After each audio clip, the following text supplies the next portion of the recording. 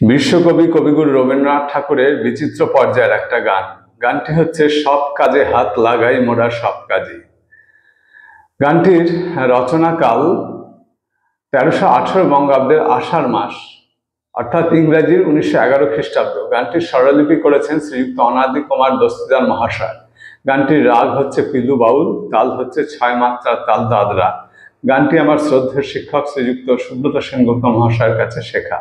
গানটি গেয়ে শোনাচ্ছি। সব কাজে হাত লাগাই মোরা, সব কাজে বাধা বাঁধন নেই গো নেই, বাধা বাঁধন নেই গো নেই।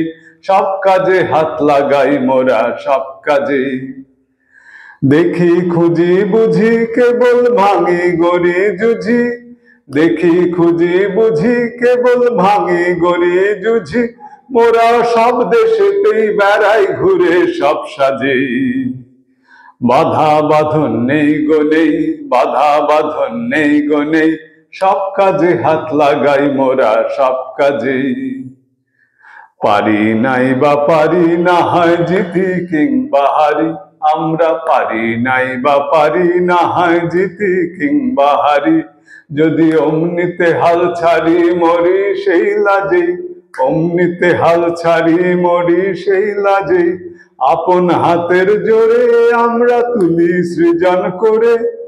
আপন হাতের জোরে আমরা তুলি সৃজন করে।